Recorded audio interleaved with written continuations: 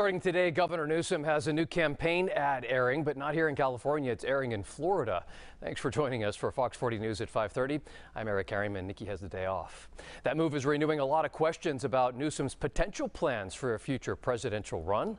Fox 40 Capitol reporter Ashley Zavala explains.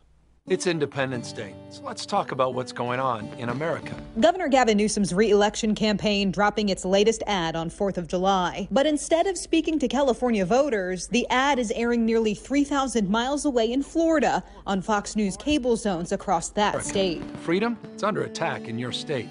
Newsom taking aim at Florida Governor Ron DeSantis and his efforts to ban abortion, limit free speech in class, and tighten voting restrictions. DeSantis has been considered a potential front-running Republican candidate for president in 2024. Or join us in California, where we still believe in freedom. The ad setting off political fireworks and raising questions about Newsom's future beyond California. Stephen Maviglio is a Democratic strategist. I think it's a really smart investment. I mean, for $100,000, he's getting a million dollars worth of national publicity. You know, there's a lot of buzz these days about Joe Biden not running again, who will run. And I think Gavin Newsom certainly wants his name in that running.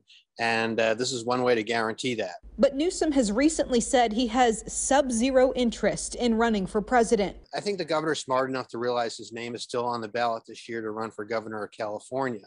And even though it's going to be a cakewalk, I think he doesn't want to take that for granted with voters. So it's just something to say. I mean, anybody who spent five minutes with the guy knows he has, you know, one eye always looking at that Oval Office. Meanwhile, DeSantis has not directly responded to the ad. His campaign spokesperson told CNN Gavin Newsom might as well light a pile of cash on fire.